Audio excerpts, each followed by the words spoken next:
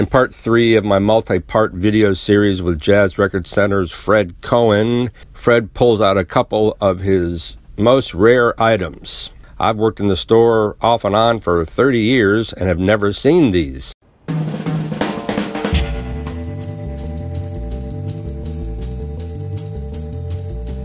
supposedly, I say that guardedly, supposedly, Dial, record company most famous with Charlie Parker, issued the very first LP.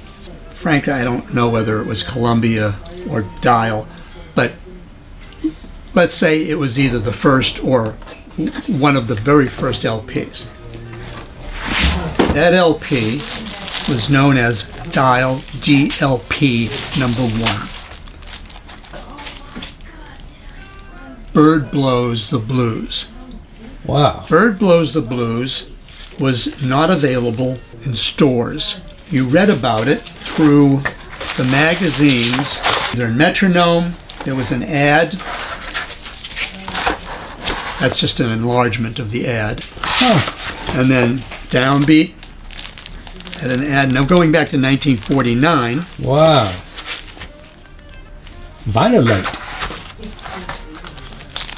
And then they even did a review. They gave it, they didn't have stars, they gave it three notes. Huh. and then even sent out a postcard.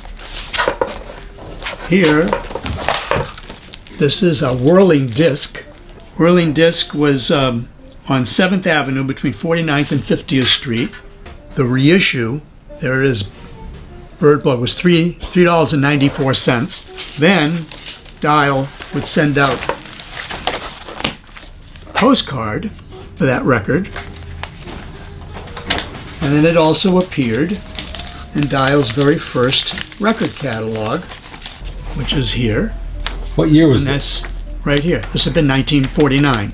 Oh, wow. That's Now, even before it became Dial 901, it was made available mail order only, no art cover, just a brown paper sleeve as DLP1. wow.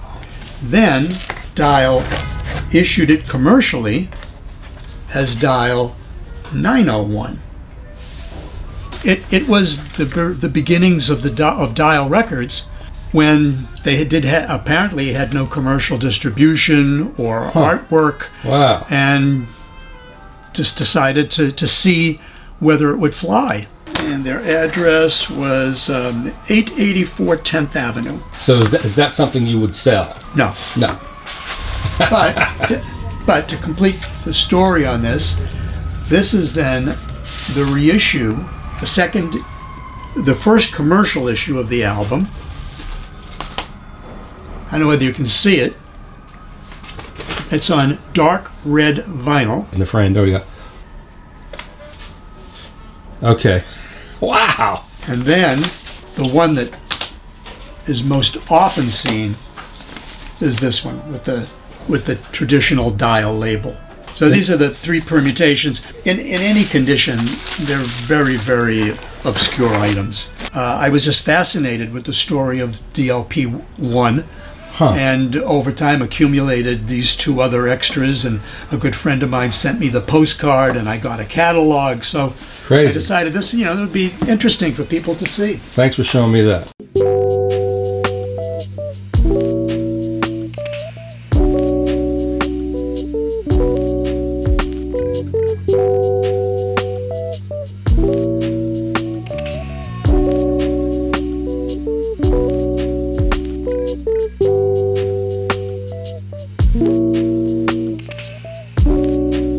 Let me just say start off so that as an intro Norman Granz from Mercury Norgran Clef Verve and Pablo I think is most important record producer ever period. Hmm.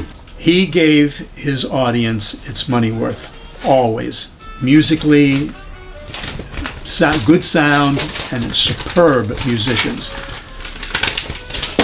Early on he had a contract with Ella Fitzgerald, and he had Ella do a box set called Ella Sings the Gershwin Songbook. The very first release of that was in this teakwood box.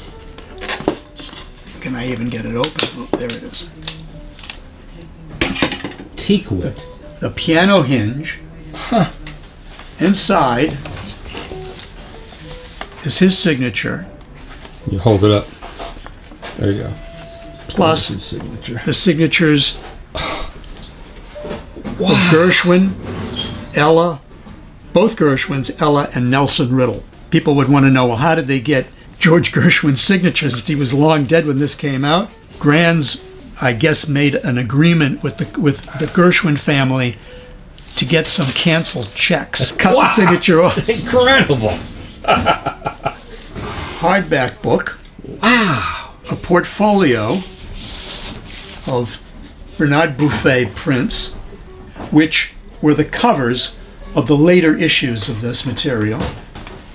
Those are beautiful. And then finally, le- five leather binders or sleeves, Insane. five leather sleeves, one which has an EP in it of uh, Ella, its narrative, and and some songs, and then sleeves with each separate record Have you seen that more than once? once. How often, how many of those were made? Well, there's, let's see, on the signature page, 200, supposedly. Now, you honestly never know, Right. other than Mosaic. Anyway, you don't know whether there were 200 of these made. Probably so, but over time, you know, people probably threw the records out and used the box to put to, to put thread in there. Cat litter. Um, Yeah. What do you think that sold for originally? Probably not very much, maybe at most $100. What year was that? 59. Um, There is no stereo on this. It's just the stereo. It was released in stereo, Right. But the this box is only mono. and so, is this the first instance of Ella recording all these American songbook t- tunes in one spot? Like she did Gershwin first? She did, uh, yeah, Gershwin. Cole, yeah, this would have been this preceded Cole Porter and, and all the and others. and all that stuff. Yeah, Well, that's amazing. Thank you for showing me that. yeah. This is That's insane. it's- and you know, Norman Granz, I have to say, he produced uh, box sets for. Uh, th- there's the famous Astaire set. Huh. Fred Astaire, color photos, David Stone Martin photo. I have one of those. Uh, I'm a big fan of Granz, and I highly respect the work that he did.